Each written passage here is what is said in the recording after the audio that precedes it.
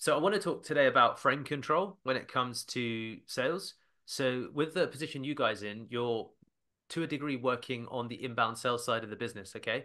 So frame control is definitely more prevalent in an environment like that. So first of all, let me just distinguish why what frame control is. So people talk about the frame when they talk about camera frame, and frame control I use to refer to controlling the narrative and dialogue of a conversation in any room that you walk into.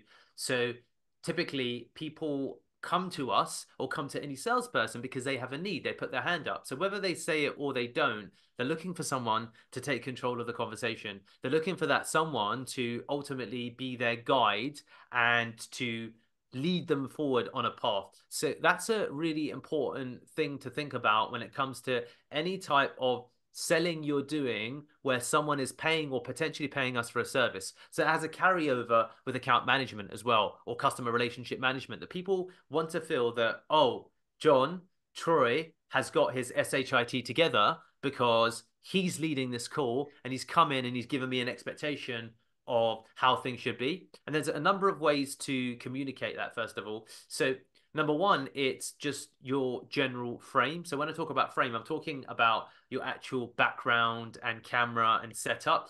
You want to look like someone who's professional in approach. Now, this can be very secondary if you lead in respect of how you introduce and all of those pieces, but you're you're you're in sales. You want you definitely want to look the part in general. So one of the things I would say is, as we discussed before, just get used to wear it. I mean, I'm wearing a Pearl Lemon branded T-shirt, but because you guys are client facing, just get used to wearing shirts. Just just a, a, a loose shirt. It will help with some of the older people that you work with. And as much as people say it's it's very secondary, it helps because it gives that impression of professionalism. The second point is the frame I've I've I've got the, the the lightest background at the moment. So if you look at actual contrast, my contrast is the best, right? Because it's it's it's it's clear. I don't think there's any debate about that, and I can make it even potentially brighter still. You probably won't notice that, but that's just something else to be mindful of. That if you do, and it's it's it's a simple thing. They do it with with with copywriting. If you close your eyes, let's just all close our eyes together. Count one, two, three, and then open them. So three, two, one, open. The first thing that people will notice is me because of the strong contrast. Does that make sense? So people will notice me immediately, and then I dive into frame control. So there's two aspects to this, okay? It's control of the frame, and that is about you being the focus of the whole core meeting. And it's not always easy to do, but the clearer the background or the less distractions in the background, the more the foreground becomes apparent. And mm-hmm. then there's other simple things. I mean, ideally, I, for example, could because I have a white background, it's okay. But I'm brown person, light colors right? That helps. So the fact that, for example, you guys are wearing dark colors means that your face shows up more literally right it's just a it's a statement of fact so that's just something in regards to the physical aspect of frame control and why it sets a little bit of a tone as to okay this person is a decision maker in this room and you always want to give the impression that you're the decision maker which is also why i talk about the concept of elements of dominance so that can be it can be bigger beards it can be glasses it's a shirt right? That's that's that's why some of these small things have a bit of a place when it comes to the psychology of it. Some other people display it through like muscularity. You get some guys that wear sh- t-shirts, but they're very muscular, but they're all different versions of the same thing. Does that make sense? It's just a different version of the same fucking thing. So so so so that's something that's important. Now the the the, the second element of it as you go in is the way that and then if if if you think about it, they do this in assessment training centers and they do this in sports teams and they do that sports teams is a good one. Any kinds of teams teams have captains. So calls phone calls can have captains as well. And as much as some captains lead by example when you're in a room where you don't know who the captain is captains tend to make themselves known because captains are the natural leaders of the room. And the natural leaders of the room tend to do something to the effect of you think about an audience where there's a dis- disaster and emergency situations okay there's military leaders doctors firefighters tend to be guys i just need your attention for a minute or the people that clink the glasses champagne champagne flutes in meetings right so you want to be the captain of the calls that you go into and there's very simple triggers that demonstrate who are the captains of calls. They speak first. They introduce themselves first. They break the tension first. They speak confidently first. They come in seeming like subject matter experts first. Okay. So being the first to speak is quite important because it tends to demonstrate that, okay, this is the person who runs the room because everyone's looking for the leader. Right. And you'll see this with more experienced salespeople or people, and I use the word experience loosely. You'll see this with better salespeople that they tend to, when it's a call where you need to ultimately impress, they tend to speak first. They tend to break the tension. They tend to introduce the room. So if there's several people in the room, introduce. Mm-hmm. So so so these things become important. And again, we've discussed this before, but we'll we'll we'll, we'll talk about it again. Confident tone is is is is is, is important. And just get if, if if you need to get used to adding a bit of timber to your voice and just make it muscle memory. There's some guys that when they go to you'll do the same thing. If you're on a beach you'll naturally clench your abs mm-hmm. because people are looking. People do it. All men do it. Unless you've got such a big pouch that it just doesn't matter but if you're anyway slim you you you you you clench your stomach muscles project your voice. Just be in the habit of when I'm in a meeting, I'm going to talk a little bit louder, literally louder. I'm going to talk a little bit louder and I'm going to communicate first because then people will look to me as being the natural leader of the room. And if you're not doing that in any meetings you go into, then you immediately signify that you're not the person that runs the room. And if you're not the person that runs the room, then it calls into question your ability to take and win the business and to deliver the work. Does that make sense? Mm-hmm. People correlate confidence with competency. Does that make sense? We all do it, right? That guy seems confident. If it's his first time, but yeah, but look, look, he and the person who's got three years of experience, they're a bit quiet, they mumble. Now these are extremes, right? But the the the, the nuances all begin to matter. And and this will apply in any room that you go into. And it's not just about selling now in a sales environment, it's about any group within which you want to display leadership or to show that you're someone that can be relied upon. I'll say it again confidence often people correlate with confidence, competence, and it's a proxy. People think, oh, if you're confident, you must be competent. And, and, and, and that, that, that, that is illustrated or demonstrated by being the first to speak, by introducing people, by breaking the ice. And then also, we spoke about it before, by having some semblance of product knowledge. And when I say product knowledge, it doesn't take that long.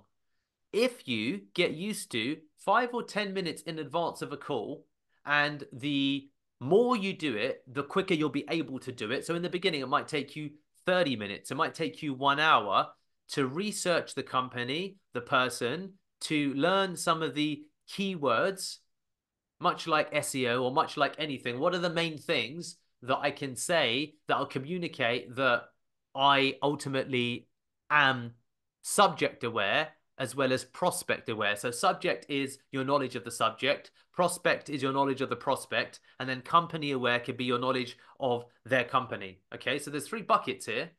People are impressed. They'll say, wow, John did his research. John looked at my LinkedIn profile. John looked at our company page. John already had some comments. John saw what was happening in the news when it came to our company and what happens. And this is, yeah, go ahead. Go ahead, John. No, I, was, I, was, I, I did exactly that this morning. I researched into the call that I had and I went and saw that they had resellers in different countries. And I addressed the one in the UK because the call was from to the UK and I addressed the exact retail and chick was, I could see her face. She was like clearly impressed. Yeah, so exactly. Exactly. So, so, so, so the, the, the, the bar is if you do anything less than having that company and product and individual knowledge, then you're not going to be the most impressive guy in the room. And the distinctions as you go up the levels and ladders of success are minimal in terms of what one person does that's different from the other. So prep is really important. And and the truth is in an inbound sales environment, and actually most teams work in inbound sales, many teams work in inbound sales environments because you get leads that come into you unless you're out and out prospecting. Most people get lazy because they just have leads coming in, leads coming in, leads coming in, leads coming in, and they just jump from call to call. But if you drill into your headspace that I must be prospect aware and company aware and industry aware, and there's there's there's that third layer as you go up the levels of competency because you can be aware of the individual that you're talking to. John, Portuguese, based between South Africa and Portugal. Looking, he's in a traditional type of home based upon those bottles. Looking based upon you know his age and his demeanor, maybe in his mid twenties, sunny day right now, probably enjoying the sunshine in. Don't get me wrong, I would add many additional layers to it based on looking at your LinkedIn profile. Okay, these are just visual aids that I'm using, but you become person aware, then you become company aware, which is Pearl Lemon, okay, Pearl Lemon Group, overall company, and then you can become subject aware or industry aware of the industry that Pearl Lemon are in. And then you can understand what are some of the keywords that relate to, and, and now that we've got tools like ChatGPT and Gemini, it's very quick to get that knowledge that you need. And then you bring that to a call and you impress people. And you can build that in to your elevator in less than 30 seconds. And you just already distinguish yourself in those first 30 seconds, and which is why that's the area of frame control. So instead of it being, oh, hey, John, so I know that we're here to talk about SEO with Four Pearl Lemons. I'd just love to hear more about how we can support you. I'd say, John, uh, John, good morning. First of all, I, I hear that you're in. I understand that you're in Lisbon. I think I actually went surfing in Cascais three year, a couple of years back, and really, really love the chicken that they do in Lisbon because I don't know if you've been to the UK with something called Nando's, the chicken you guys do there is much, much better. Whatever they're doing at these joints in the UK, they're ripping us off. Anyway, that's just a side note. I know that we're here today to talk about Pearl Lemon. I know I understand it's part of the Pearl, well, wider Pearl Lemon group, and you've got accountancy, you've got legal, you've got catering. So look, I presume at some level we're here to talk about how we can help you generate more inbound leads across the entire group. Really impressive what I think is it the founder, Deepak, what he's doing at Pearl Lemon. So just seems like a really impressive company to be part of. Anyway, really looking forward to seeing how we could help you today. Do you see the difference? Literally, yeah. And do you understand that that doesn't require that? And this is the thing that's crazy to me. The additional work required to change that intro takes probably another five minutes. The difference, and, and, and that difference can be the difference to people hiring us versus hiring anyone else because everyone is a subject matter expert at one point or another on what they sell but people buy people that are subject matter experts on the person they're selling to. It's like, I know you, I know your industry. It's like I'm saying the right things and the right words. Ah, oh, I get that sense of reassurance, of assurance. So, so, so you will be able to distinguish yourself based upon not only the way that you introduce, and we're beginning, you, you see, we're beginning to build quite a lot of important things in the first 30 seconds.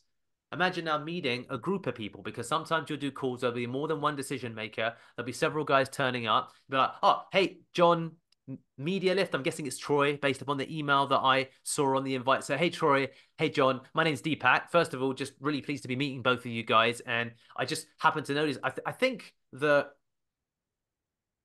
you're both, you might be both be South African, but John, I noticed that you're in Cape Town. You know, always be the first to introduce always be confident with the way that you introduce, always be clear in the little elements of research that you've done.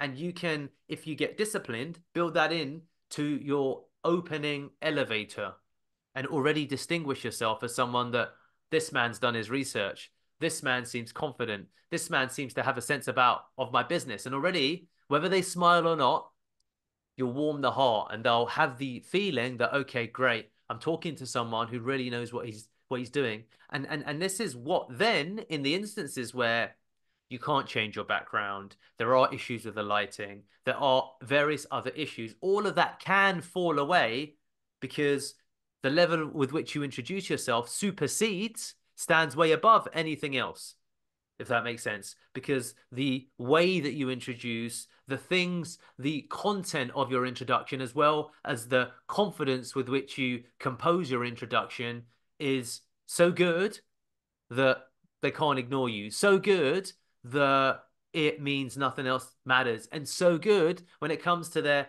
final decision based on all of the comparative proposals, they think, well, you know what? John seemed to know my company better. John seemed like a real leader. John looks like he can manage and control the room. And ultimately, I'm hiring someone who's better at that thing that I'm hiring than I am. And that's really what I want from this conversation. Because if I wanted someone to do exactly what I told them and exactly how I wanted it, I would have got ultimately an employee as opposed to a contracted agency or legal representative or accountant. And and and and and it's incredible what you can demonstrate. Guys, this is the first 30, 60 seconds. You get it. And and and again, it relates to all introductions. Just be strong, be the first to speak, have a little bit of product knowledge, reference it, make a joke. And and and and, and I'll follow this up by saying, or I'll finish, I'll wrap this up by saying that your ability to execute this effectively will be very much dependent upon how you're prepared to drill, as in practices. Because what happens again, the biggest issue is that people don't then go out and do the practice, actually do the practice. Say, you know what, just for one week, Troy, John, together we're going to get on a Zoom call and we're going to do 15 minutes of strong introductions to each other. We're going to pull up a random prospect from my calendar. We're both going to do independent research, different prospects, and we're both going to introduce. And we're going to do it in 15, 15 minutes together, five minute blocks. So, or 20 minutes, two introductions each. You got five, you got four minutes to research, one minute to pitch. Four minutes to research, one minute to pitch. Four minutes to research, one, something like that, right? Develop a structure that allows you to become extremely competent at the, your delivery and your introduction up and until the point that you start to get diminishing returns upon your time meaning that you'll probably do it for one week and you'll reach such a level of competency so quickly that you might not need to do much of it anymore. And if you systematically work on every aspect of your sales process with this methodical type structure, you can get really good really, really quickly because most of your competition, the other sales reps, aren't doing stuff like this because most people don't proactively work on their areas of weakness. They're not even sometimes aware of what their weaknesses are. And everyone, without a doubt, is getting on the job training. That's what they all do. Sales guys often practice their sales pitch by having more sales pitches, and that's totally cool. But you don't separate yourself in that way because that's literally what everyone else is doing. Because of course, by default, you kind of do it. And don't get me wrong, you should do a, AAR, which is an after action report to analyze what happened after the action has happened spend a minute to think, what could I have done better? How can I improve the next time? These are important things to do. And we'll talk about that perhaps in a separate training because most people don't really take literally just a minute to really think about, irrespective of all of the surrounding circumstance, all of the other variables, the variable that I can control is me, what I bring to the call, what I bring to the conversation, my level of prep. What could I have done better based upon how that call went? But also doing that preemptively as well as reactively, which is where you do the AAR, the after action report. What could we have done better? How did that call go? Three things that I think next time I'm going to do better. But ahead of that, there's 20 minutes a day, guys, or however you want to do it, four hours one day. You get, and this is where I went back and refer back to the cramming thing.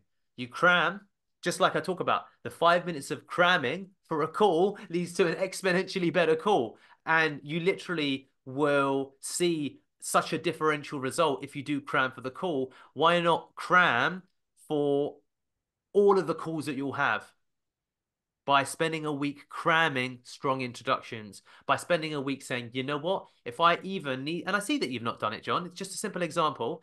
I see that you've not even tried to play with your background. You maybe move the light a little bit here, but you've not, you're not bothered because because most because because most people, without knowing it, don't work hard enough on systematically different elements of the way that they pitch. All of it counts. All of it counts. And the compound effect of it is that then you start to differentiate yourself in terms of results. I mean, think about it. You get 30, 40 leads a month, whatever you get. You want to be making £25,000 a month banked for Pearl Lemon because then you can come in and control the narrative and say, Deepak, look at my sales figures. But we live and die by our ability to look at what we're doing, how we're doing it, and really work to improve it. And that's where I can draw the parallel and say, you know what, John's not changed his background. We spoke about that. So now I have a sense about John's general approach and ethos to how he sells. And I was saying this to Aaron and Shania, and I'll say it to you. Demand nothing but excellence from yourself. And the way to be excellent is to work on every aspect of the work that you do. And most people are not prepared to actually put in the work. And that's why most people get mediocre results from the work they put in. I say the same thing to you, Troy. At the weekend, you said you spent some time on Saturday. I noticed that you said that, but you didn't do it. And then I came in, and it and, and for you it was okay. And I just feel bad for you guys because I'm like, oh wow, not not for me, because I'm like, wow, is that the standards that you keep in your own lives? Is that how you treat yourself? Is that the level of integrity you have for yourself? that you'll say things or you'll hear things, you'll agree with those things, you'll commit to things, and then you will not do at least 20% of the things that you'll say you'll do. I feel bad for you. Does that make sense? I, I just feel bad for you. I'm like, why, why, why, why would you treat yourself like that? Why do that? What kind, you know, what, how does that speak to the kind of man that you want to be in your relationships, in your lives, and as human beings? It's like, you know, you don't want to be the kind of guy that I will do 80% of the things that I say I will do. So what the fuck?